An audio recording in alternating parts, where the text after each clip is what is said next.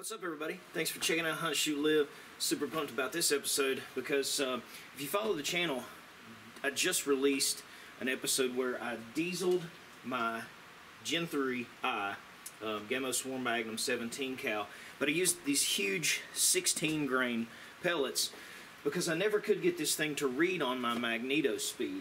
Well, in playing around with it, getting it set up with that, I sort of uh, kind of rednecked the rig a little bit and thought to myself, you know what? With it set up like this, I wonder if I can finally get the reading on these small 17 pellets.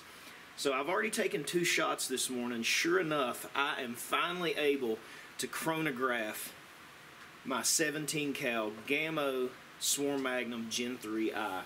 So we're going to test out several different pellets this morning and see what kind of speeds we get out of this thing. Now, people comment all the time on my videos, and especially on that one the other day, because even dieseling those 16 grain pellets, we were only getting like, uh, you know, 710, 750, something like that, feet per second. With, well, those are massive pellets, way bigger than what the gun's meant for.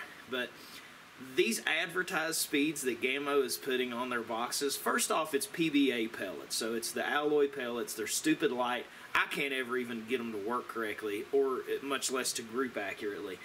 They advertised for the 17 that it's going to shoot 1,650 feet per second, which I call BS even just before I was even successfully able to chronograph.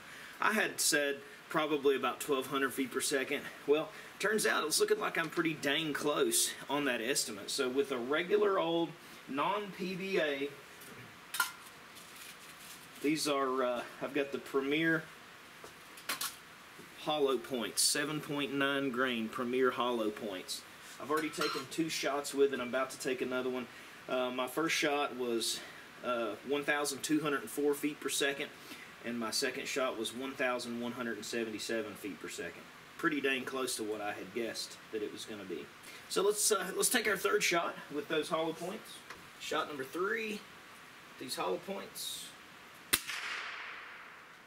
Yeah, 1,166.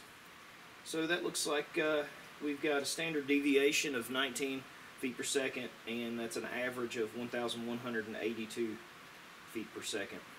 The Gamo red fires are super popular. Let's chrono those.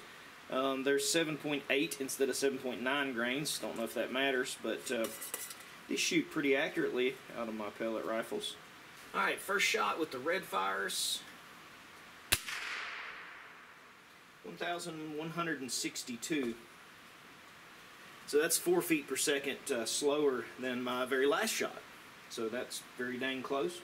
Shot number two with the red fires. Heated back up on that one, 1,196. So we went from uh, 1162 up to 1196. Shot number three with the Gamo Red Fire. And on slowed on down, 1,159. So uh, those maybe are a little slower than what the hollow points were. With the hollow points we had um, 1204, 1177, 1166, and then with the red fires 1162, 1169, 1159.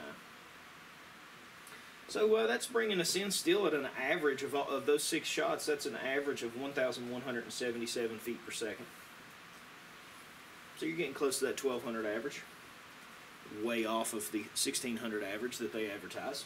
All right, the Hornets. Everybody loves the Hornets, right? Uh, I don't really remember what grain these are. Okay, it was killing me. I had to look it up. So the Hornets are a little heavier. Instead of, uh, we've been shooting 7.9, 7.8 these are 9.57 grains, so a little heavier, a little slower. Because of course we did not, uh, you know, we've not done anything to increase our muzzle velocity, so you add in a heavier bullet with the same propulsion system, get a slower speed. First shot with the Hornets. Ooh, very slow. 1016. Shot number two with the Hornet. 1022, also slower than our previous two. Shot number three with the Hornets. 1020. You know, I've got to say, which this is surprising because the Hornets did not shoot very accurately, uh, or at least they did not give me anywhere near my best group. But now those have a very, very good standard deviation. You got from 116 to 122, so six feet per second, extreme spread. Anyway, uh, so I do have a little bit lighter of a pellet here. These Premier pointed pellets are 7.4 grains. So we're going to assume maybe these are going to be a little bit faster. Let's see what happens. First shot with the Premier pointed pellets, 7.4 grains. Oh yes, 1,220 feet per second. That's our fastest shot yet. Second shot with the Premier pointed, 1,207. So we slowed down a little, but that was still amongst the fastest shots that we've had of all of them. Third shot with the Premier pointed,